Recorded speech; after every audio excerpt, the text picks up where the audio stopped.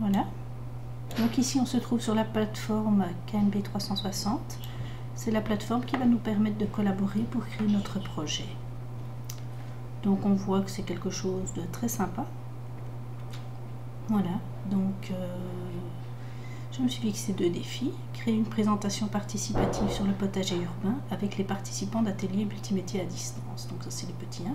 C'est ce que nous faisons avec ici mon journal. Et dans le journal, vous trouverez donc toutes les informations euh, semaine par semaine qui vont nous permettre de créer le projet ensemble avec les liens, etc. Voilà. Ici, vous aurez chaque fois le programme de l'atelier à distance. Bon, voilà, bonjour, euh, voilà ce que nous allons faire à telle date. Et ici, les, tous les liens qui vont, que, qui vont être utilisés pendant l'atelier, dans ce cas-ci l'atelier du 7 février. Voilà, donc ça c'est pour euh, la création euh, d'une présentation sur les potagers urbains. Donc pour cela nous allons créer une petite présentation Prezi et on aura tout, à fait l'occasion euh, de voir ensemble de quoi il s'agit.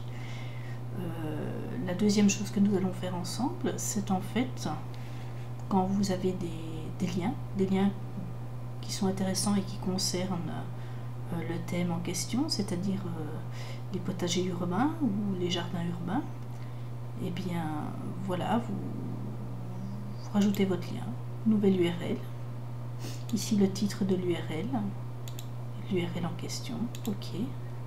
ici je n'en ai pas mis parce que je n'ai pas cherché et automatiquement ça viendra se mettre là.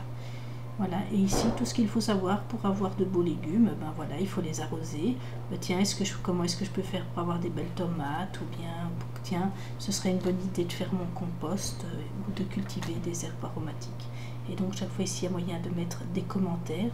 Par exemple, ici dans herbe aromatique, eh ben, tiens, je vais dire, moi j'adore la ciboulette. Donc voilà, je suis obligée de bouger un peu pour écrire, sinon ça ne marche pas. Voilà, je vais marquer ne pas oublier la ciboulette. Voilà. Voilà, je le remets là en place. Et voilà, donc c'est un outil très sympa qui va nous permettre de travailler ensemble tous les mardis soirs. Merci.